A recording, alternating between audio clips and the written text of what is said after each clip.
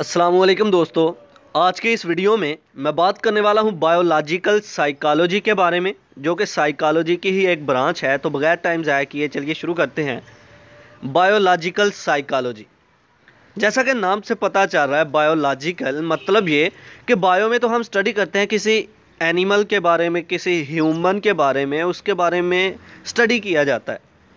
उसकी नेचर के बारे में, उसके बिहेवियर के बारे में उसकी जेनेटिक मैकानिज़्म के बारे में स्टडी किया जाता है बायो में। तो बायोलॉजिकल साइकोलॉजी एक ऐसी साइकोलॉजी जिसमें हम किसी इंसान के बारे में या किसी एनिमल के बारे में स्टडी करते हैं कि उसके बिहेवियर कैसा है, उसके जेनेटिक मैकानिज़्म क्या है, उसका डिवेलपमेंटल मैकानिज़्म क्या है। अब जेनेटिक मैकानिज़्म और डिवेलपमेंटल मैकानिज़्म क्या होता है?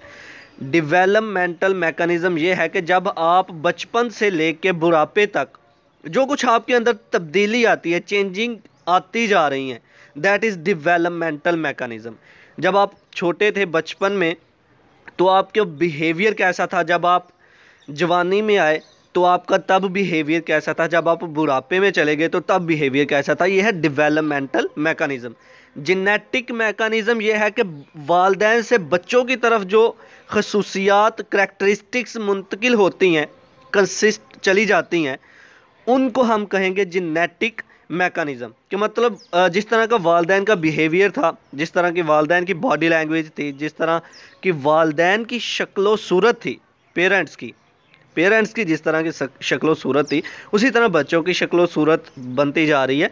यह है जेनेटिक मेकानिज़म साइकोलॉजिकल तौर पर हम मैकानिज़्म देखते हैं बायोलॉजिकल साइकोलॉजी में।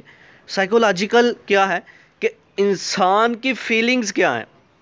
मेंटली तौर पर वो किस तरह का है? तो इसका मतलब ये हुआ कि बायोलॉजिकल साइकोलॉजी में हम स्टडी करते हैं इंसान की बॉडी के बारे में, उसके माइंड के बारे में। उसकी थाट्स कैसी हैं, उसका बिहेवियर कैसा है, उसकी फीलिंग्स कैसी हैं, उसकी बॉडी लैंग्वेज कैसी है। बचपन से लेकर बुढ़ापे तक उसमें क्या कुछ चेंजिंग आई डिवेलपमेंटल मैकेनिज़्म को देखा जाता है। पेरेंट्स से बच्चों की तरफ़ जो चीज़ें मुंतकिल हो रही हैं, जो पेरेंट्स से बच्चों की तरफ़ चीज़ें आई हैं करेक्टरिस्टिक्स आई हैं, उनके बारे में स्टडी किया जाता है बायोलॉजिकल साइकोलॉजी में। तो चलिए इसको लफ्ज़ी तौर पर पढ़ते हैं point number one biological psychology या फिर बायोसाइकोलॉजी या फिर साइकोबायोलॉजी ये तीनों नेम एक ही हैं। या फिर बायोलॉजिकल साइकोलॉजी या फिर बायोसाइकोलॉजी या फिर कह सकते हैं psychobiology is the application of the principle of biology ये बायोलॉजी के कुछ principles to the study of psychological genetic and developmental mechanism of behaviour in humans and other animals जो साइकोलॉजिकली तौर पर साइकोलॉजिकल मतलब इंसान के फीलिंग्स थाट मेंटली तौर पर वो कैसा है? जेनेटिक वालदेन से पेरेंट्स से बच्चों की तरफ़ जो करेक्टरिस्टिक्स आई हैं, उनके भी उनकी करेक्टरिस्टिक्स के बारे में स्टडी किया जाता है डिवेलपमेंटल बचपन से लेकर बुढ़ापे तक जो उसमें चेंजेस आ रही हैं, उनके बारे में, उनके बिहेवियर का बारे में स्टडी करने का नाम बायोलॉजिकल साइकोलॉजी है। नंबर टू पॉइंट पे आए ज़रा। नंबर थ्री लिख दिया मैंने मिस्टेक हो गई। Number two the study in which the mind body connection is explored through scientific research biological psychology में हम स्टडी करते हैं कि किस तरह से हमारा माइंड और हमारी बॉडी जो है, इनमें कनेक्शन क्रिएट हो गया हुआ है।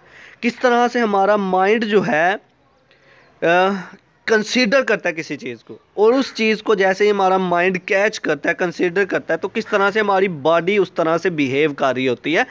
इसमें बायोलॉजिकल साइकोलॉजी में हम ये सब कुछ स्टडी करते हैं। तो ये था आज का हमारा लेक्चर जिसमें हमने बात की बायोलॉजिकल साइकोलॉजी के बारे में। आई होप कि आपको मेरी ये वीडियो पसंद आई होगी। Like this video share this video and comment below this video if you have any question thanks for watching subscribe focus group अल्लाह हाफिज़